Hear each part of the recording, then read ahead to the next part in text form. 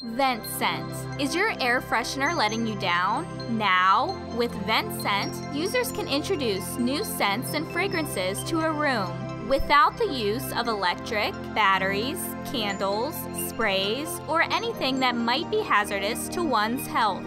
Users will clip or magnetically apply a fragrance of their choice to the underside of the vent cover of any forced air vent fragrance can now be emitted through one's HVAC system. It is distributed whenever a heating or cooling system is active. This method is safe and non toxic. It is fast acting and provides a freshening system that is not overpowering but still pleasantly noticeable. When the fragrance is expired, simply remove and put a replacement on the underside of the vent cover.